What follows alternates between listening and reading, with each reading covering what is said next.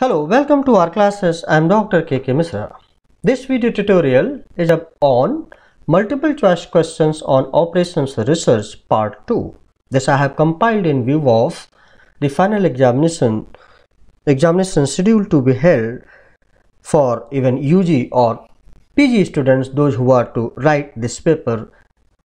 Now come to the questions directly. Question number 1 the total supply is not equal to total demand in a transportation problem then it is called options are a balanced b unbalanced c de degenerate d none of these. Correct option is b unbalanced. Question number 2 the solution to a transportation problem with m rows and n columns is feasible if number of positive allocations are Options are A m plus 1, B m cross 1, N C m plus n minus 1, D m plus n plus 1. Correct option is C m plus n minus 1. Question number 3. A firm that considers the potential reactions of its competitors when it makes a decision. Options are A is referred to as a price leader, B is engaged in strategic behavior, C is engaged in collusion. D is referred to as barometric firm. Correct option is B is engaged in strategic behavior. Now move to next slide. Question number 4. Which of the following is an example of strategic behavior? Options are A. A firm builds excess capacity to discourage the entry of competitors. B. A firm adopts the pricing behavior of a dominant firm under the assumption that other firms will do likewise. C. Firms in an industry increase advertising expenditures to avoid losing market share. D. All of the above are examples of strategic behavior. Correct option is D. All of the above are examples of strategic behavior. Question number 5. Which one of the following is a part of every game theory model?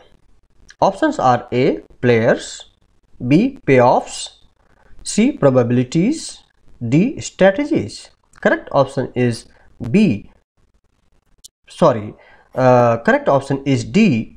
Strategies. Viewers, let me tell you that by and large, the correct options are highlighted here. In case of any discrepancy found, will be corrected through my narration. Now question number 6. In game theory, a choice that is optimal for a firm no matter what its competitors do is referred to as options are A. The dominant strategy B. The game winning choice C. Super optimal D. A strategic selection Correct option is the dominant strategy. Now move to next slide. Question number 7. Which of the following circumstances in an industry will result in Nash equilibrium? Options are A. All firms have a dominant strategy and each firm chooses its dominant strategy. B. All firms have a dominant strategy but only some choose to follow it. C. All firms have a dominant strategy and none choose it. D. None of the above is correct. Correct option is A all firms have a dominant strategy and each firm chooses its dominant strategy. Now question number 8. Which of the following describes a Nash equilibrium? Options are A. A firm chooses its dominant strategy if one exists. B. Every competing firm in an industry chooses a strategy that is optimal given the choices of every other firm. C. Market price results in neither a surplus nor a shortage. D. All firms in an industry are earning zero economic profits. Correct option is B. Every competing firm in an industry chooses a strategy that is optimal given the choices of every other firm. Question number 9. Which of the following legal restrictions, if enforced effectively, would be likely to solve a prisoner's dilemma type of problem for the firms involved. Options are A. A law that prevents a cartel from enforcing rules against cheating. B. A law that makes it illegal for oligopolists to engage in collusion. C. A law that prohibits firms in an industry from advertising their services. D. All of the above would be likely to solve prisoner's dilemma for the firms. If you compare, so the correct option here is C, a law that prohibits firms in an industry from advertising their services. Question number 10. Game theory is concerned with options are A, predicting the results of bets placed on games like roulette. B, the choice of an optimal strategy in conflict situations. C, utility maximization by firms in perfectly competitive markets. D, the migration patterns of caribou in Alaska. Correct option is B, the choice of an optimal strategy in conflict situations. Question number 11. Until recently, medical doctors and lawyers have been prohibited from engaging in competitive advertising. If the prisoner's dilemma applies to this situation, then the presence of this restriction would be likely to Options are A. Increase profits earned by individuals in these professions. B. Reduce profits earned by individuals in these professions. C. Have no effect on the profits earned by individuals in these professions. D. Increase the profits of some and reduce the profits of other individuals in these professions. Correct option is A. Increase profits earned by individuals in these professions. Now, question number 12. Which of the following is a non-zero sum game? Options are A. A prisoner's dilemma B. Chess C. Competition among duopolists when market share is the payoff D. All of the above. Correct option is A. Prisoner's dilemma.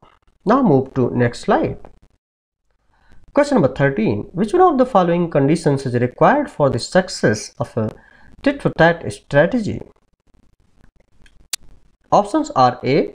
Demand and cost conditions must change frequently and unpredictably. B.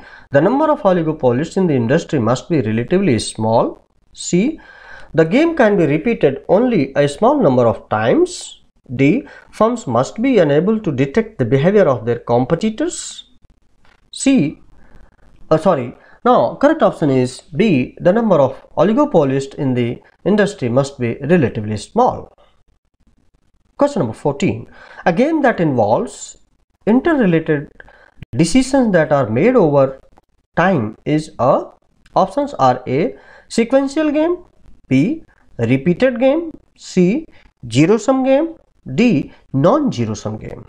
Correct option is a sequential game. Question number 15.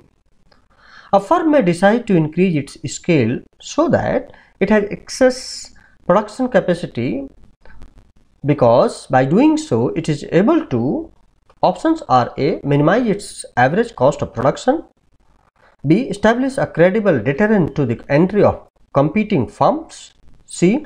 Take advantage of a dominant strategy in prisoner's dilemma D. Attain a Nash equilibrium and avoid repeated games. Correct option is B. Establish a credible deterrent to the entry of competing firms. Question number 16. In game theory, the outcome or consequence of a strategy is referred to as the options are A. Payoff B. Penalty C. Reward D. End game strategy. Correct option is A. Payoff. Question number 17. Of the following is an example of a game theory strategy? Options are A. You scratch my back and I will scratch yours. B. If the shoe fits, wear it. C. Monkey see, monkey do. D. None of the above. Correct option is A. You scratch my back and I'll scratch yours. Question number 18. In game theory, a situation in which one firm can gain only what another firm loses is called a. Options are A. Non-zero sum game. B. Prisoner's Dilemma C. Zero Sum Game D. Cartel Temptation Correct option is C. Zero Sum Game. Question number 19. A plan of action that considers the reactions of rivals is an example of options are A. accounting liability, B. strategic behavior, C. accommodating behavior, D. risk management. Correct option is B. strategic behavior. Question number 20. A strategy that is best regardless of what rival players do is called Options are A. First mover advantage B. Nash equilibrium strategy C.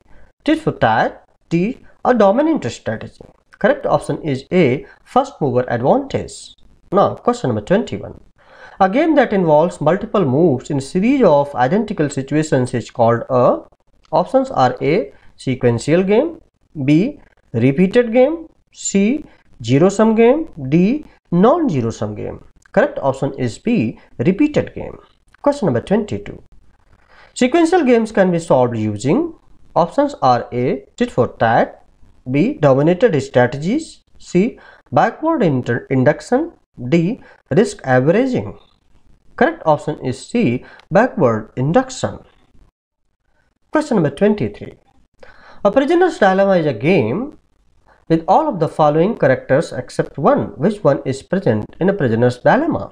Options are A. Players cooperate in arriving at their strategies. B. Both players have a dominant strategy. C. Both players would be better off if neither choose their dominant strategy. D. The payoff from a strategy depends on the choice made by the other player. Correct option is A. Players cooperate in arriving at their strategies. Question number 24. A firm that is threatened by the potential entry of competitors into a market builds excess production capacity. This is an example of options are A. A prisoner's dilemma B. Collusion C. A credible threat D. Tit for tat. Correct option is C. A credible threat. Now question number 25. What is the fundamental purpose of the game of game theory? Options are A. To analyze decision making B. To analyze strategic interactions C. To predict decision outcomes D. To predict firm behavior It is C. To predict decision outcomes. So this was all about this video tutorial. More quality questions on other topics will be made available to you in my upcoming video tutorial. Thank you very much. Please share, like, share and subscribe and forward it to many those who are needy now and in the future. Thank you. Have a nice time. Best of luck.